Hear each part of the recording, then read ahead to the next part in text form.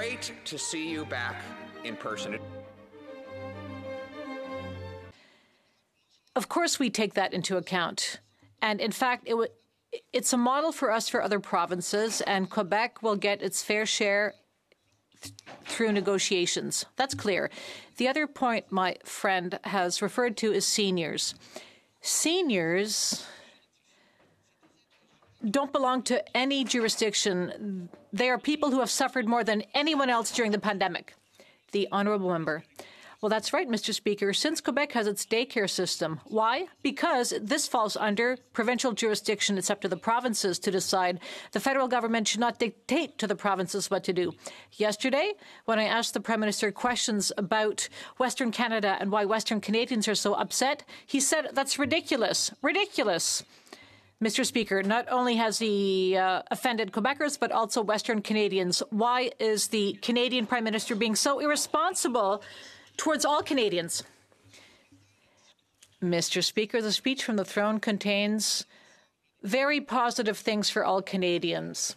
When you read the speech from the throne and you go through all of its elements, it's clear that we are in a pandemic and it is the priority of the government is to protect the health and safety of all Canadians. So I would like to reach out to my friend and I would ask him instead of fighting over jurisdictions or just generally fighting, let's work together, Mr. Speaker, to help our seniors, to help our businesses, and to help those who have lost their jobs. Let's do all of this together. The honourable member uh, for Louis Saint Laurent. Speaker. Mr. Speaker, the government tabled a piece of uh, legislation a few days ago, Bill C2, and uh, obviously we want to work correctly on that. We made a proposition a few hours ago with our all counterparts here to be sure to work correctly. We mean to have a sitting house here for a committee of the whole this Sunday. Is the uh, government is ready to work on Sunday for the good and wealth of the future of the Canadians? The Honourable Minister. Speaker, the government is, is, working seven days a week for Canadians. The government's working all the time for Canadians, Mr. Speaker. We'll, we'll analyze what my colleague has offered, and you know, through discussions we can get to do, do a lot of things, and that's why we insisted so much to be able to be here and also present virtually, so all MPs could participate. And I'm glad that they agree, that they finally agree, Mr. Speaker. We can do a lot of things together with goodwill. Honourable member for Calgary, Nose Hill. Yesterday, the Minister of Health said, quote, that she would rely on the expertise of researchers, scientists, and experts to guide us on the matter of rapid testing. But experts, researchers, and scientists in other developed countries have already approved rapid and at home testing. Right. So this begs the question, if we're collaborating with these experts, researchers, and scientists on things like a vaccine, why can't we use it for rapid testing? When will the review of rapid testing be complete in Canada? The Honourable Minister. Well, thank, thank you very much, uh, Mr. Speaker, for the question. And I obviously share the members' uh, deep desire to have more sophisticated tools to be able to respond to COVID 19, including more sophisticated testing capacity. Of course, there's not one single rapid test solution, and testing is a complex space. But I will tell you what I do know we need to rely on Canadian regulators who will tell us when a test is safe enough and accurate enough to be released into Canadian society, because, of course, tests that don't provide accurate responses responses could make situations way worse. Thank you, Mr. Speaker. Well, Member for Calgary Nose Hill. The minister needs to realize there are people waiting for eight to 10 days to get their results. And it's her job to go into her department and say, hey, What's taking so long? Here, here. Why can't we do this quick, quickly and fulsomely? Make it happen. It's not enough to share a desire, Mr. Speaker. She is in charge of this. She's got to go read her riot, read the riot act to her bureaucrats and get this done. When will the review be complete? Here, Honorable Minister. Well, thank you, Mr. Speaker. Unlike the member opposite, I'm incredibly grateful to the bureaucrats, as she calls them, the researchers, the scientists, the civil service, who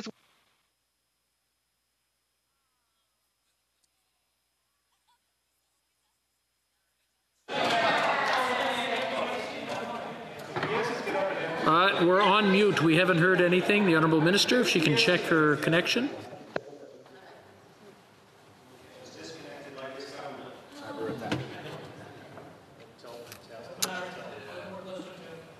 L'honorable député de La Prairie. The honourable member for La Prairie. Thank you, Mr. Speaker. Yesterday, we saw just how con condescending the Prime Minister was.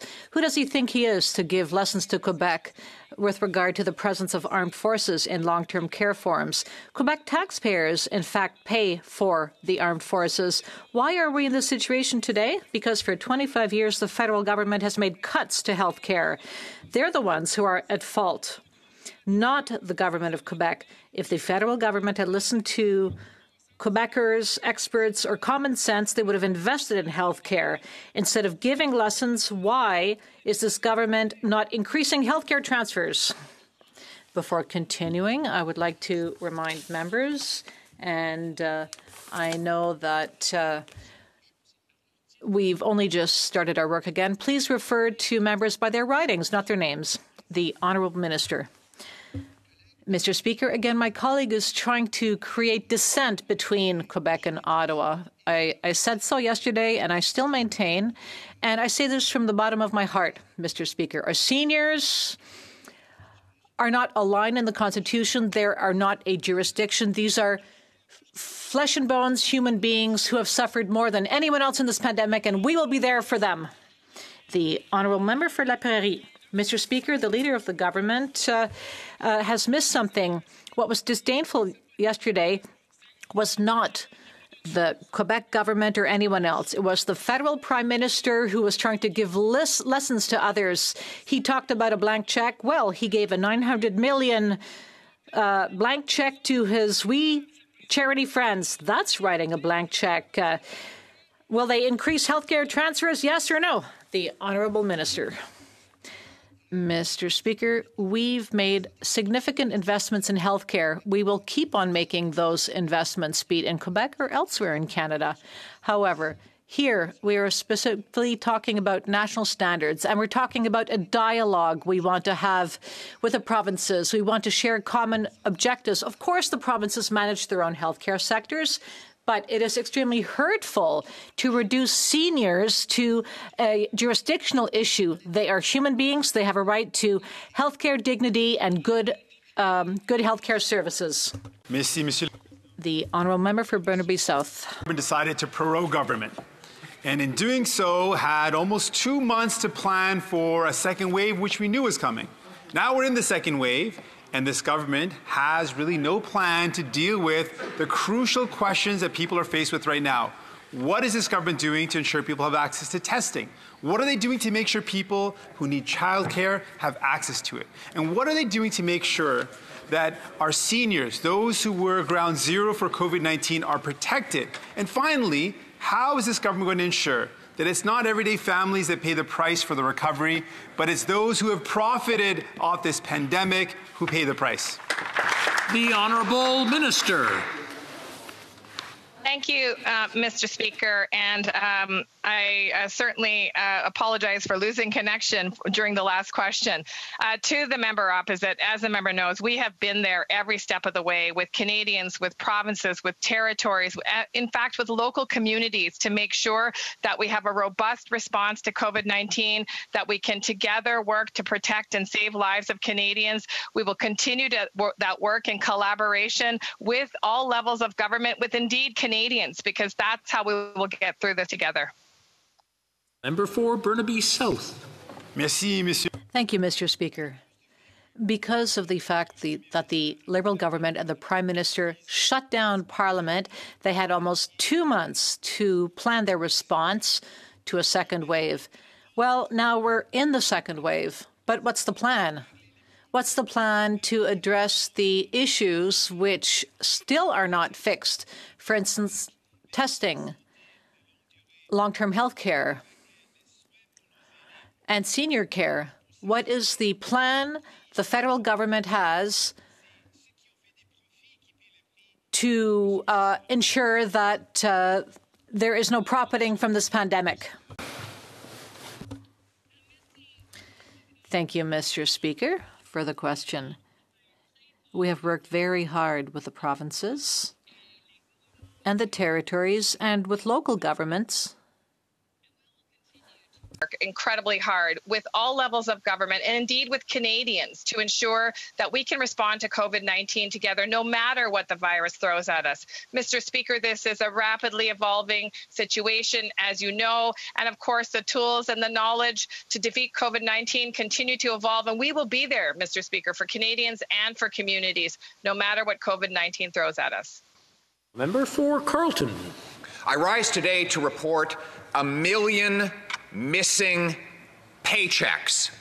That's the number of people who've lost their jobs since February and have not been hired back. We have the highest unemployment of the G7.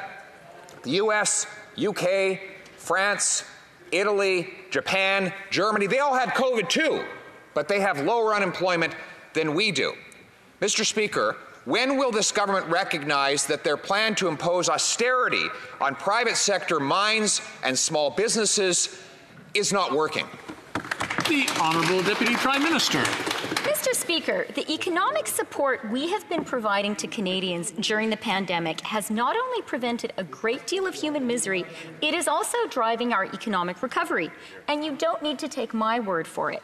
I quote, federal government income support programs have so far been paramount for averting the delinquency tsunami and protecting the economy. TD economist Ksenia Bushmeneva. Full member for Carleton. Oh, yes, the bankers are very happy. Yeah. They're making all kinds of money these days, Mr. Speaker. But you know who's not happy?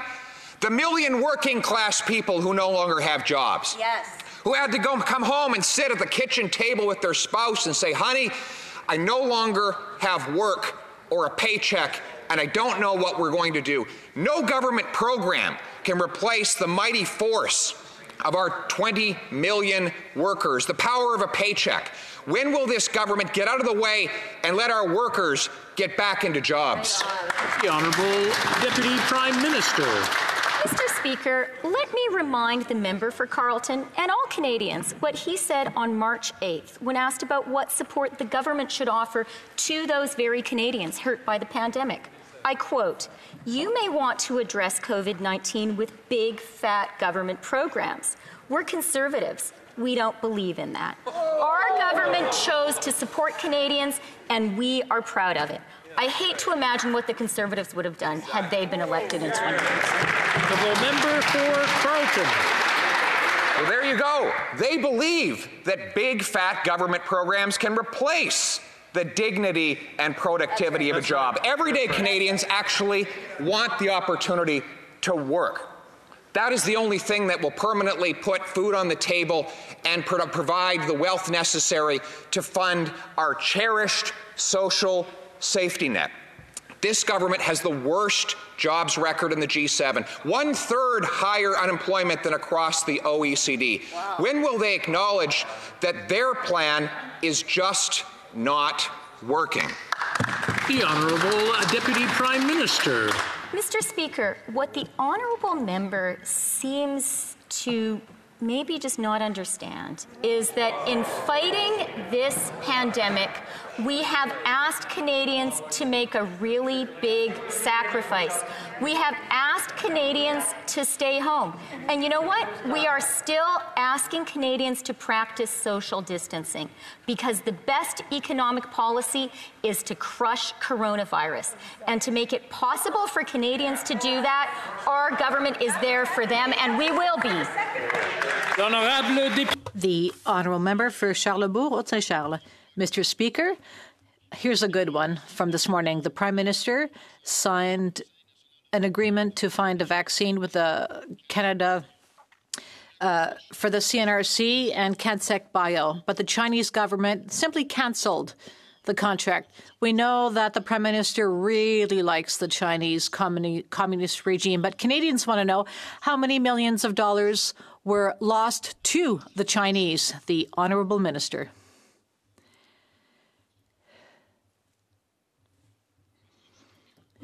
Our government has been working closely with experts and industry partners throughout this pandemic, which has allowed us to make an evidence based approach to vaccine research and development.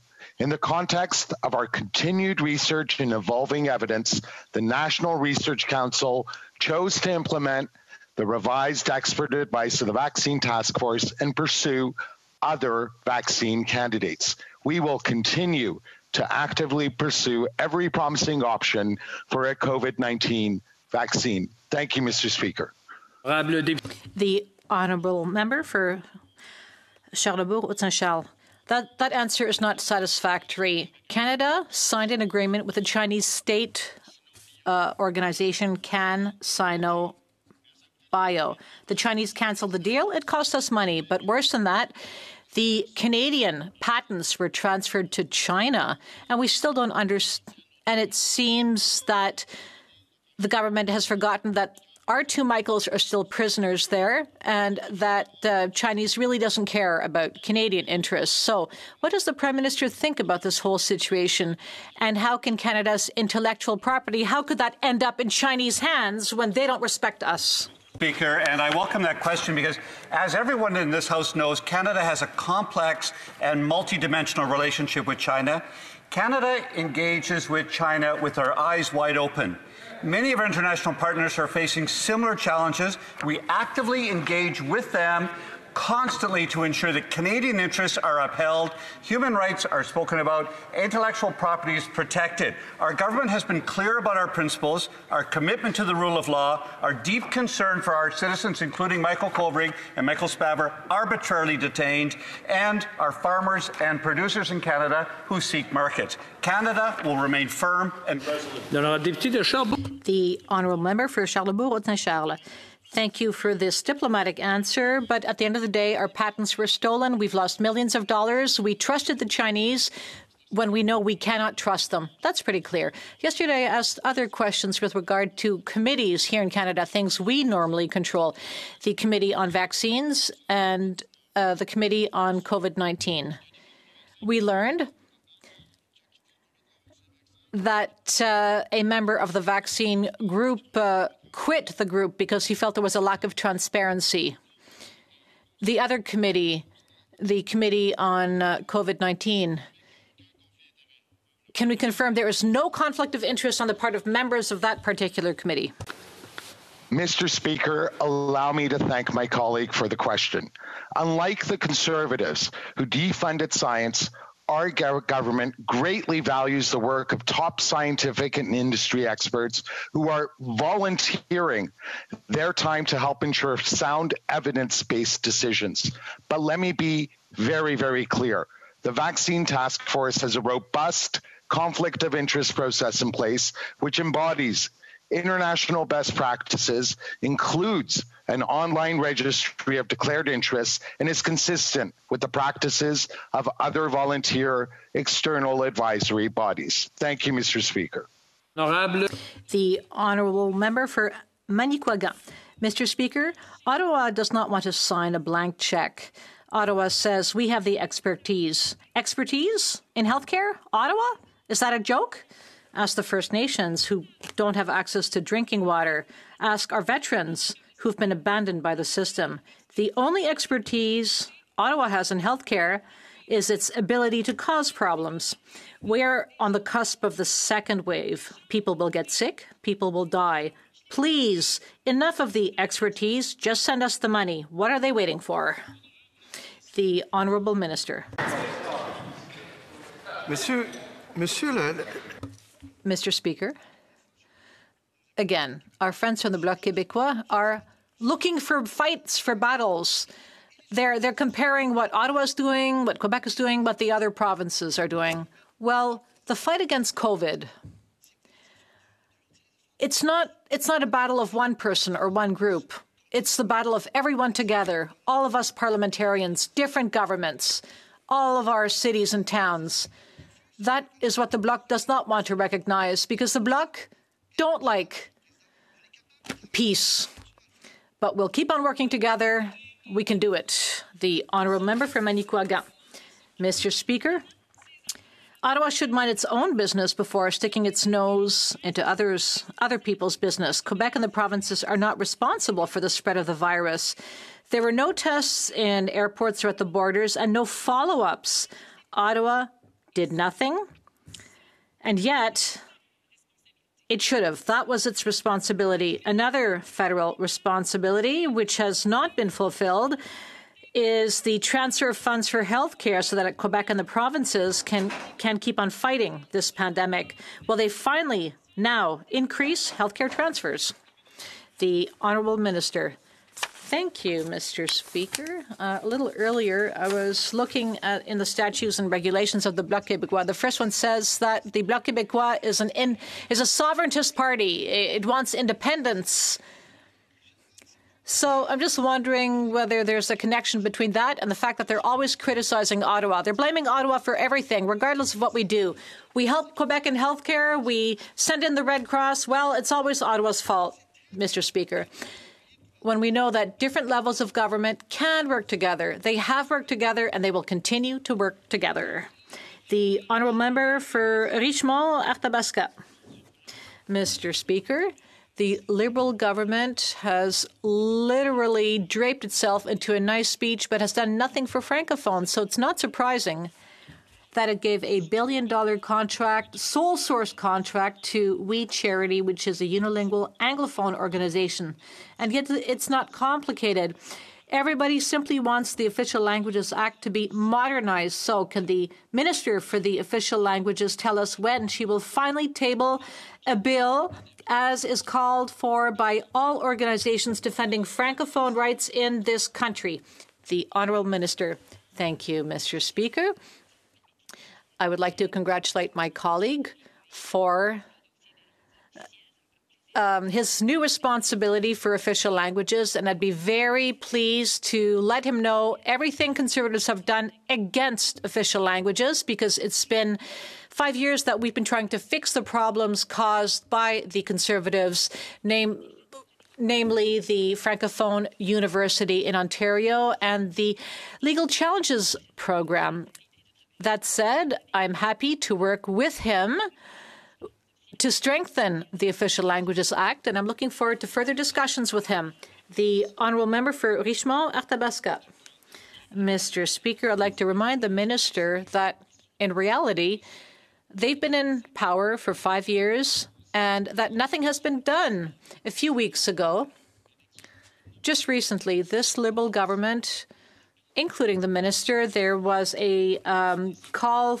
Uh, they awarded a sole source contract to their We Charity friends when we all know, and it's been documented, that they are unable to, that this organization does not operate in French. So we're talking about the We Charity scandal, which the government is trying to squash. So, again, when will this minister table a bill which everyone is calling for? The Honourable Minister. Merci, Monsieur le Président. Thank you, Mr. Speaker.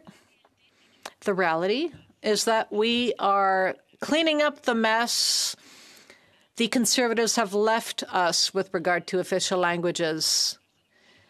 We're not only cleaning up the mess at the federal level, but also the mess at the provincial level, including the mess left behind by Doug Ford. Now, Jason Kenney is in fact undermining Francophones in his province with the Saint Jean campus. So, will my colleague join me and denounce the cuts Jason Kenney is making, which will disadvantage Francophones and the Saint Jean campus?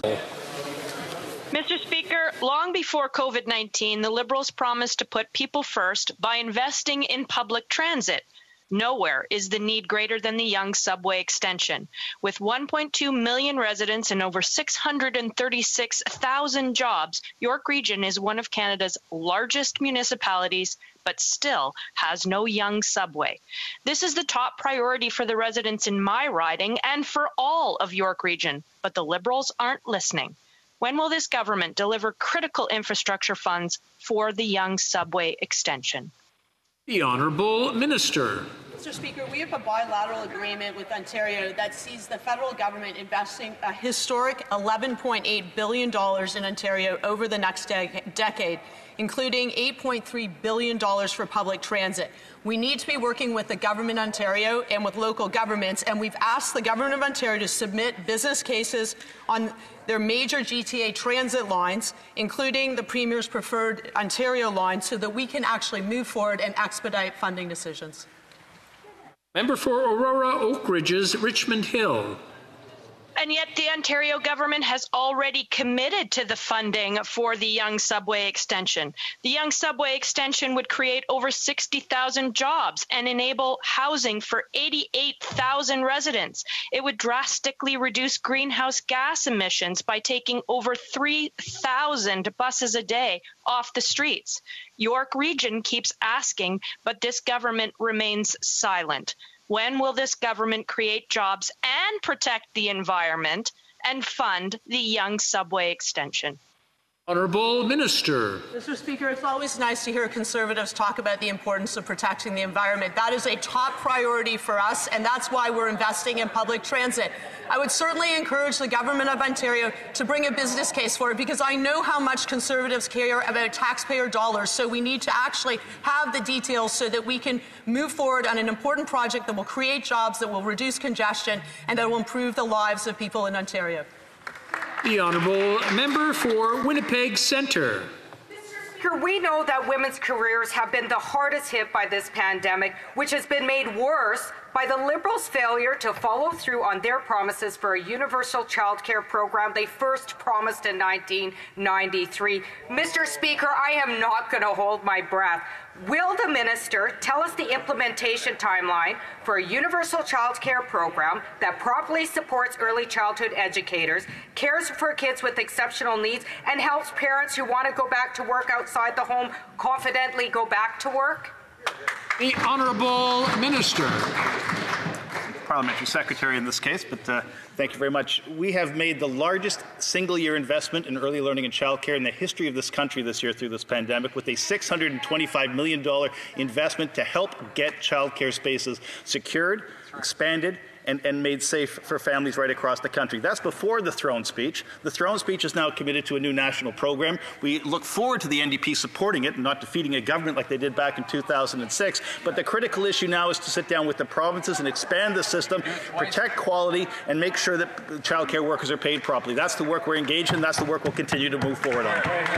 The honourable member for Courtenay Alberni. Mr. Speaker, the Nuu-chah-nulth on the west coast to the Mi'kmaq on the east coast the Liberals have spent millions on lawyers to fight Indigenous fishing rights. And time and time again, the courts have upheld Indigenous fishing rights. Now the lawyers, the Liberals, are talking out of both sides of their mouths. But by trying to play both sides, they're leaving DFO officials without a clear mandate, and they're putting lives at risk. Will the minister finally back up her claims that she supports self determination by actually upholding inherent and constitutionally protected rights? The Honourable Minister. Thank you, Mr. Speaker. Mr. Speaker, right now the government's number one priority is making sure people stay safe in southwest Nova Scotia, where the tensions are quite high. We are working with our First Nations leadership as well as with the industry partners in Nova Scotia. We believe that the best way forward is through respectful and collaborative dialogue. We are working to make sure that we uphold those treaty rights. Thank you, Mr. Speaker. The Honourable Member for Brome, Missisquoi. Mr. Speaker, as I'm always in contact with the people and the entrepreneurs of Brome, Missisquoi, I was able to see their solidarity and resilience during this pandemic. As we move towards an economic recovery, our people are asking for one thing the creation of better jobs and more investment in infrastructure. Now we're looking toward the future. Can the Minister of Infrastructure and Communities give an update on her work to help communities? Ministre. The Honourable Minister. I'd like to thank the member for Brome, Missisquoi for this question. Every dollar that the government will invest will be to create good jobs and to improve the quality of life of our communities. And that is why the federal government is investing in the renewal of water ducts in that riding. and they will receive more than 5 million from the Green Infrastructure Fund to improve the quality of life and the resiliency of these people. Permission Matsqui, Fraser Canyon. Mr. Speaker, when the pandemic hit, financial institutions granted six month mortgage deferrals to ensure Canadians wouldn't lose their homes. By the end of June, more than 768,000 Canadians used these programs. Next week, those deferral programs end and mortgage payments are due. Economists suggest that 5% of mortgages could default. That's almost 40,000 homes. Mortgages weren't referenced in the throne speech. Mr. Speaker, why is the Liberal government okay with potentially thousands of Canadians losing their homes? Are we not in a second wave? The Honourable Deputy Prime Minister. Thank you very much for that important question. Mr. Speaker, our government is absolutely committed to supporting Canadians and Canadian businesses throughout this crisis. The mortgage deferrals from our banks have indeed been very, very helpful to many Canadian families, and this is an issue that we are going to continue to be working on. I also want to point out that the extensive support we have provided to individual Canadians and to Canadian small businesses has helped Canadians get through so far. As we said in the throne speech, we are committed to continuing to be there for Canadians as we fight, as the member opposite points out quite rightly, this second wave. The Honourable Member for Mission Matsqui Fraser Canyon. Mr. Speaker, the Liberals' National Housing Co-Investment Fund was announced with great fanfare in 2017, but over the two to three year period has delivered very little nationwide. Now they want us to believe they can build 3,000 homes in six months. Right. Will the government commit, here and now, to operate with transparency and provide a running list of projects as they are allocated funding with regional breakdowns, unlike the opaque approach to the National Housing Co-Investment Fund? The Honourable Parliamentary Secretary the Rapid Housing Initiative announced this week with a billion dollar investment in acquisition and construction of new supportive housing units is one of the most important investments I think this government and this in fact this country has ever made in terms of in terms of battling chronic homelessness. The throne speech now commits to ending chronic homelessness in this country, and that is an ambitious but a massively necessary target. The issue that the member opposite raises uh, is, is an important one. We need to show Canadians exactly where these units are landing and how people are being helped, and we'll commit to work to make sure he gets the information he needs. I would caution him, though, not to rely on some of the language coming out of newspaper articles. The investments in BC are 26.8% of the investments we've made. I've made several announcements of projects in BC, and that's a good news story for the honourable member for Desnethé, Missinippi Churchill River. Thank you, Mr. Speaker. During the pandemic, I've heard many stories of how this government has left out or left behind Indigenous businesses. CEBA and SUS are just two examples. Last week, I attended a recovery forum hosted by the Canadian Council for Aboriginal Business.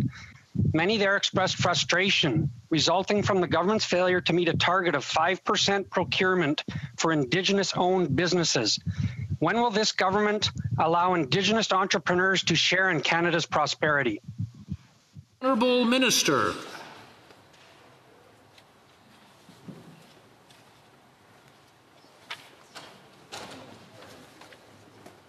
Sorry, Mr. Speaker, I was having trouble unmuting my uh, my microphone. Um, Mr. Speaker, we recognize Indigenous businesses and their communities face unique challenges and have been disproportionately impacted by the current situation. That's why we took action to support Indigenous business to respond to the hardships that have been amplified by COVID 19. This includes investing $423.8 million to support local businesses and ensure business owners have access to the support they need to get through this challenging time. With this support, Indigenous communities and businesses will have the flexibility they need to respond to their unique economic needs through this difficult time. The Honourable Member for Kenora.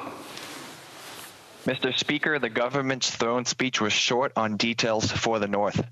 Many Canadians in my riding across the territories and in other parts of northern Canada struggle with housing shortages, transportation difficulties, and higher costs of goods and services.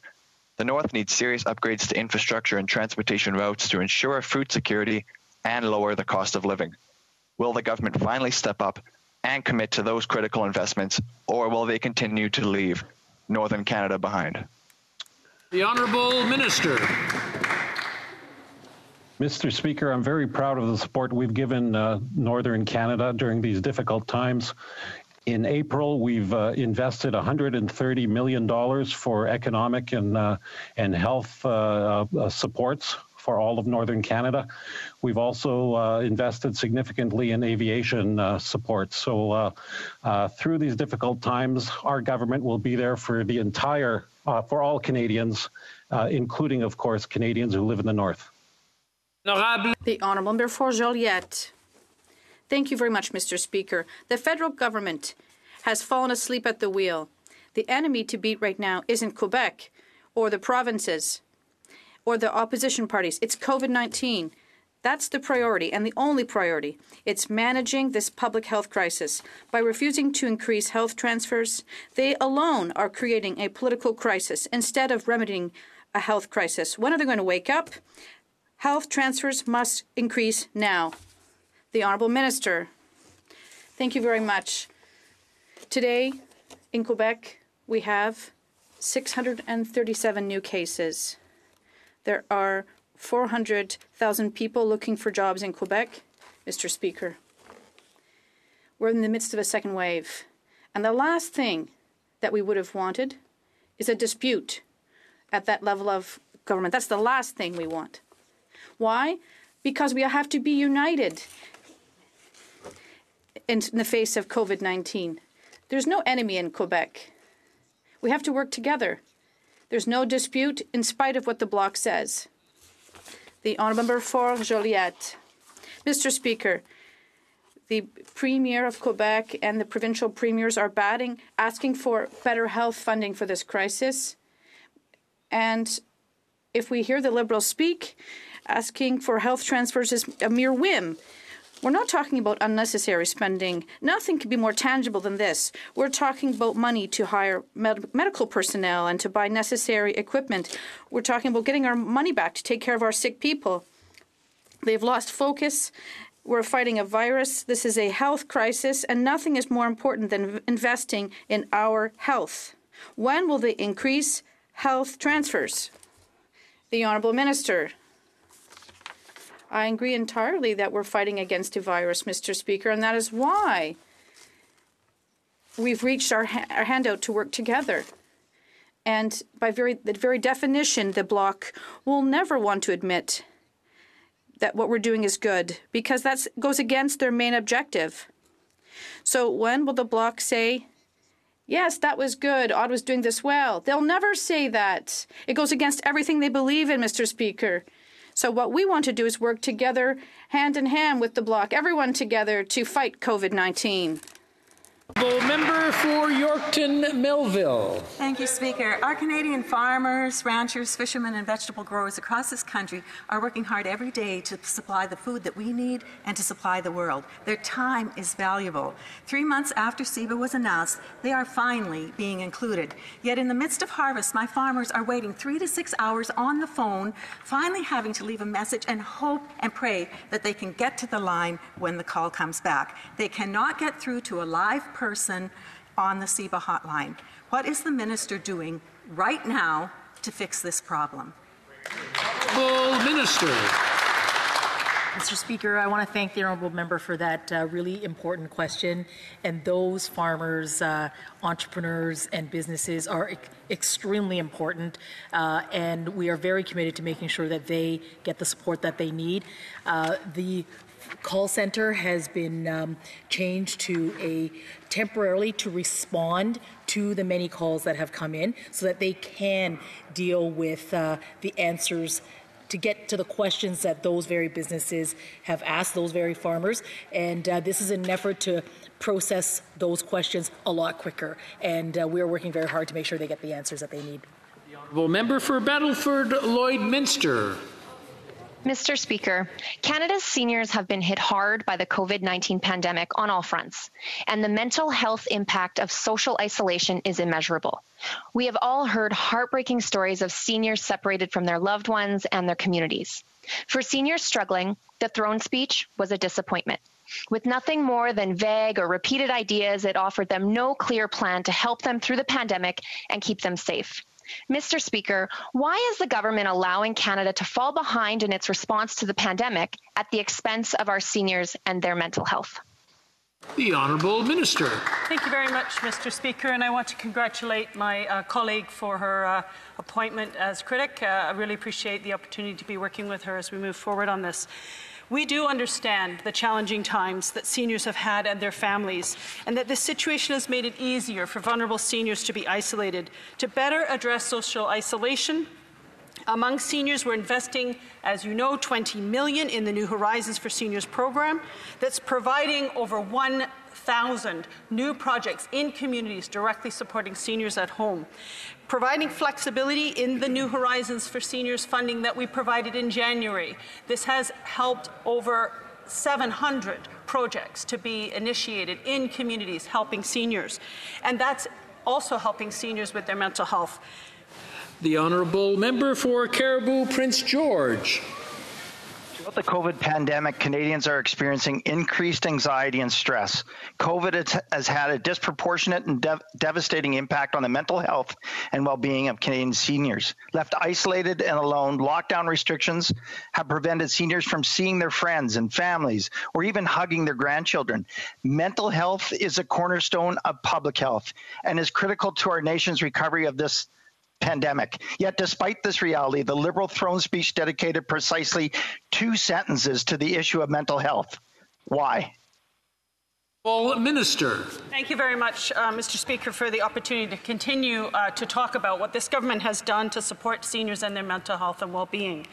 The throne speech was an excellent throne speech for seniors, and I want to uh, address what we are doing right now to support those seniors. We are doing it through the New Horizons for Seniors program, through the $350 million in community support that is being provided to help seniors get the services and supports, including the mental health supports that they need. We also launched a Wellness Together Canada website uh, portal to help seniors access those essential services that they need to stay well and safe. Steps like these go a long way in helping seniors to know that they are not alone. The government's there with them and for them. Thank you. The honourable member for Cariboo Prince George. The honourable member for Cariboo Prince George. Uh, oh, sorry, he's already spoken. Oh, he didn't. Okay, I'm sorry. The honourable member for Surrey Newton. Our government understands the and, and appreciates the importance of Canada's forest sector. Like many industries, fallout from COVID 19 has hit forestry and its workers hard. The sector is looking for collaborative st strategies to ensure our forest sector is resilient and emerges stronger than ever. During this National Forest Week, could the Minister update this House how our government is supporting the women and men of our forestry sector? The Honourable Minister. Well, uh, thank you very much to the member from Surrey Newton. National Forest Week is an opportunity to highlight all of the incredible contributions the forest sector makes to our economy. Throughout this crisis, our government and the forest industry have stepped up to help fight COVID 19 on many fronts. Companies like West Fraser and Canfor have donated much needed N95 masks. FP Innovations is developing biodegradable masks that are made of wood fiber. Additionally, in the midst of the global pandemic, our government provided $30 million to the forest sector so that businesses could safely continue operations during COVID 19. The challenges are immense, but so are the opportunities, and this industry is stepping up to the task. For Bow River. Thank you, Madam Speaker. This government's throne speech rehashed old Liberal promises without even mentioning oil and gas workers or pipelines. The natural resource sector lost 43,000 jobs in the last quarter alone. Western Canadians have been hard hit by the economic calamity which began under this government long before the pandemic. Bill 69 and 48. The PM is divisive, just like his father. Why won't this government show it cares about national unity and a real economic recovery by supporting our oil and gas workers. The Honourable Minister. Thank you very much, Madam Speaker. At one point, almost one in three workers in mining, oil, and gas was able to stay in their job thanks to the Canada Emergency Wage Subsidy. And the speech from the throne announced this subsidy will continue, Madam Speaker, through until next summer. This represents hundreds of millions of dollars to support energy sector workers. It also represents, Madam Speaker, tens of thousands of workers who will stay in their jobs in Alberta, in Saskatchewan, and in the province of Newfoundland and Labrador, thanks to this Liberal government. We're supporting workers, supporting families, and we're supporting their oil and gas sector. Thank you, Madam Speaker. The honourable member for Edmonton Millwoods. Madam Speaker, Albertans are tired of being ignored by this government. Our energy sector supports 800,000 jobs and it produces 20% of Government of Canada's revenues. Alberta should be a part of this nation's economic recovery. But you can imagine the disappointment for the hundreds of thousands of oil and gas workers in Alberta when they were completely disregarded in the throne speech. When will this government work with Alberta's energy sector and get people back to work instead of the litany of policies that fuels division and continues to punish Western Canada? The Honourable Minister. Well, thank you very much, Madam Speaker. I will reiterate our support to workers in the oil and gas sector and say that hundreds of millions of dollars has been put in place to support them with the wage subsidy. I'll also reiterate to my honorable colleague the support that has been given over the last couple of months with over $1 billion to clean up abandoned uh, oil uh, wells, uh, with the $750 million that we put in place to help the industry reduce its greenhouse gas emissions, Madam Speaker. We are there for all workers across the country, including those in the oil and gas sector. Thank you, Madam Speaker. Honourable member for West Nova. Thank you very much, uh, Madam Speaker. We all know that the aviation industry has been hard hurt by the global pandemic. That we now heard that here that NAV Canada is cutting 14% of its workforce, losing another 720 jobs. They're being laid off and closing two flight information centers, including uh, one in Halifax. The Minister of Transport promised months ago that the government would be supporting the aviation industry, but we're still waiting for their plan. Could the Minister of Transport tell me how many people will be losing their jobs in Halifax, and what is their plan and timeline for reopening? The Honourable Minister. Thank you, Madam Speaker. Uh, we realize that the aviation sector has been hard hit, not only the airlines and the airports, but also uh, NAVCAN, an organization responsible for air traffic control in our country. This is a complex situation which we're looking at very closely because we want to ensure that when we pull out of this pandemic that the air sector is going to be able to resume its operations and uh, I can assure you that uh, we are looking at, in detail at what measures can be put in place to make sure that this happens. The honourable member for Glengarry Prescott Russell.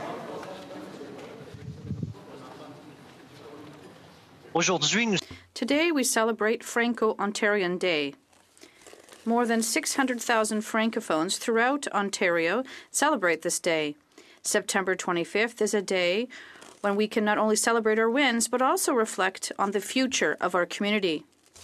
Can the minister tell this House what measures our government has taken to support Francophones in minority settings? The Honourable Minister. Thank you, Madam Speaker. You yourself are Franco-Ontarian, so happy Franco-Ontarian Day. The 600 Franco-Ontarios are always there to defend their rights and to work and live in French in Ontario. We've made historical investments with our official languages plan and in terms of the Canada Census and in terms of the first Franco-Ontario uh, University for run by and for Franco-Ontarians. We are there for Franco-Ontarians and happy Franco-Ontarian Day. For North Island, Powell River. Madam Speaker, over 40,000 veterans in Canada are on a wait list for benefits that they are owed. Some have waited months, some have waited well over a year. How many times were they mentioned in the speech from the throne? Zero. Now veterans are reaching out to my office because they have applied for CERB and they are hoping that they are eligible because they simply have nothing else. Can this government finally take some action quickly for these veterans? They stepped up for all of us as Canadians. When will this government step up for them? Here, here. The Honourable Minister. Uh, merci, uh, Madame. Thank you very much, Madam Speaker. Of course, The parliamentary secretary is going to answer this question. For the question, the throne speech laid out the plan, our government's plan to fight the pandemic and support Canadians. Of course, that means supporting veterans. We know that veterans experience homelessness, and investing in ending chronic homelessness for veterans is very important. We know that some veterans are unemployed. Investing in job creation and creating over a million jobs will help veteran, veterans. And let's not forget, just a few months ago, we invested over uh, approximately $200 million. Unfortunately, the time is up. The honourable member for Vancouver Granville. Thank you. We've heard the speech from the throne, a lot contained therein, a lot of repeated promises, short on details. With respect to the justice system, we all know that black Canadians and Indigenous peoples are overrepresented. Evidence shows, including through this government's own reports, surveys, and extensive consultation, that reforms to mandatory minimum penalties will have a significant impact on these numbers. Specifically, what measures are being referred to in the speech when it says the government will introduce legislation and make investments that take action to address, quote, diversion and sentencing, and what is the timeline? Honourable Minister. Madam Speaker, I thank the honourable member for her question as well as her, her dedication to the, the, uh, the, the, the, frank, the frankly, Madam Speaker, uh, embarrassing issue of overrepresentation of both black and indigenous peoples in our criminal justice system.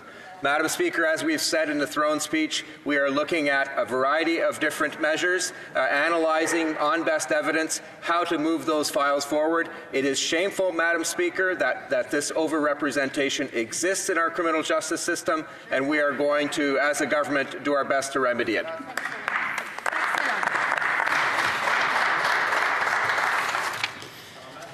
Uh, unfortunately, that's it for uh, question period. Another hour.